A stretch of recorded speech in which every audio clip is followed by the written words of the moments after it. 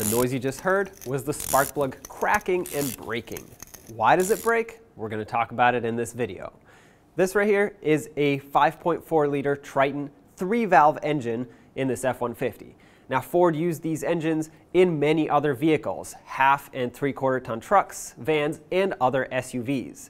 There are also other variants of this engine, two valve and the three valve, which is here. We're focusing on the three valve engines. For the two valve Triton engines, the spark plugs would blow right out of the cylinders. And for that, the threads would get damaged. You'd have to retap them, put this insert in, and then off you go.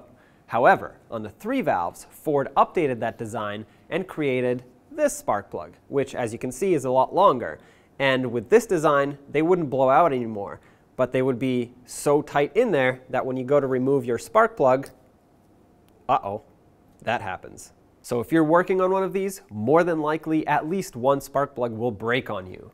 But if they do, we sell this tool at 1AAuto.com, which is specifically designed to remove the broken piece of a 5.4 liter three valve Triton spark plug. So here we are at the source of the problem. This spark plug right here, which is cylinder number one, is broken inside the cylinder. I pulled the upper half out as I was doing the spark plugs on this engine. I actually had another one that broke, but I fixed that one already. And for this one, I'm going to show you how to do it. So as I was unthreading this spark plug, I was excited because it didn't feel like anything wrong was happening, but as it turns out, I only pulled out the top half of the spark plug. This is what it should look like when the whole thing comes out. To repair this, the first thing I strongly recommend is getting yourself some compressed air, blowing out any extra debris that might be in there. Now, from the toolkit that you have, you'll see this threaded rod here, which is basically uh, an adapter that's threaded on both sides. At the bottom, it has the same threads as the spark plug that you pulled out, so it'll actually thread into the spark plug threads and lock in there. So let's slide it down into the cylinder, just like that. Let's get a socket. In this case, it's a 19 millimeter and thread it down. You want to make sure that you oil up the threads a little bit and that the threads on the insert are clean. You don't want to damage the threads in the head. And just thread it down until it bottoms out and gets snug. In your kit, you'll have this, which is basically a little plunger that goes down in there. Make sure you put it with the wider end towards the top. Slide it down in the center of that insert. And now once you have that in, you're going to want to put in the push rod, which will push that plunger down. So start it in by hand. I oiled these threads also. Thread it in until it bottoms out and I'll show you what this does. It's pretty cool actually, and uh, just as a warning, it'll make some very strange noises and scary noises to be honest, because it's actually breaking that ceramic and pushing it down. So here's the piece of the spark plug that I pulled out earlier, and this is what it originally should look like. Has the ground strap that's one solid unit at the bottom, but the plunger that we just put in is actually gonna go in the middle of this and push the ceramic down split the ground strap, and make space at the top here so you can grab it and pull it up later. But the scary noises that you'll hear is not just this metal splitting, but also the ceramic cracking. You'll have some ceramic particles in there that will crack as you apply pressure. Now that that's bottomed out by hand, let's crank it down and, well, like I said, just be ready for those noises. Okay, here we go. Listen closely, you'll hear that ceramic start to crack under pressure and push that ground strap open, break it, so you'll most likely hear a louder snap as I turn this in.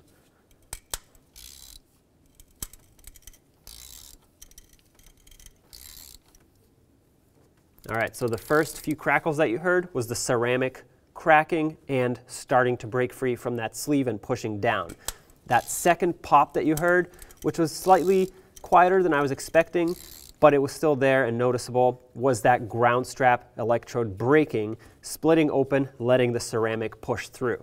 At this point, I'm going to remove my tools because more than likely I have enough room to put the next piece of the tool in there. Pull this insert out gently and you can notice how much ceramic there is on the tip of this plunger here. This is exactly what you want to see. This is nothing to be alarmed about. It did its job. It pushed that ceramic in through the sleeve. And even though there is ceramic dust here, don't worry about it. Even if it did get into the cylinder, like I said, this will just blow right out, but more than likely, it's just on the tip here. It did not make it all the way through. Let's move on to the last step. You have this tube right here, which is just an aluminum, a machined aluminum tube that will actually get this rod pushed through it.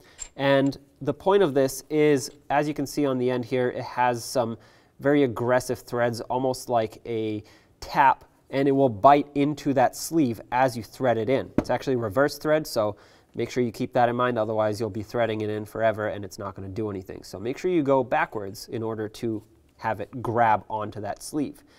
As you thread it down, it'll lock that sleeve onto the threads, and then you use the nut at the top, which is also reverse thread, so again, keep that in mind. And then you pull this up, and it's almost like a puller, and it'll remove that sleeve from inside the engine.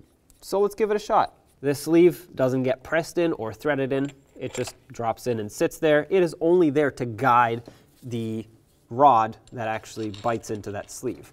Drop that rod in, put your socket on, and remember to go in reverse to actually thread it on try to push down on it. Sometimes if you do cylinders that are in the back, it'll be a little difficult to push down on it just because you don't have this open space for a long extension, but just do your best. The threads will grab regardless, but if you push down, it'll just help it seat in better. Reverse it, it'll get tighter and tighter.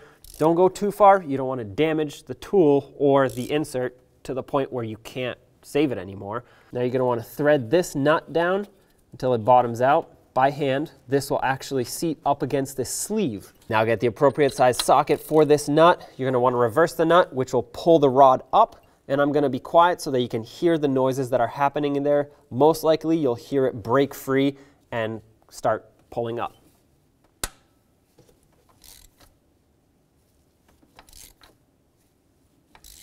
That first pop was actually the metal breaking free, so that's a good noise. Now I'm just turning it and it feels very smooth. There is pressure on it, but it feels very smooth and it's actually getting easier to turn, which means that sleeve is pulling out and there's less pressure on the side of it.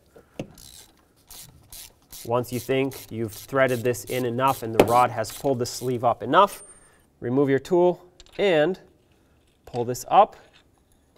And this is exactly what you want to see. Now with all of your tools out of there, just make sure you blow out the cylinder one last time Make sure there's no debris in there.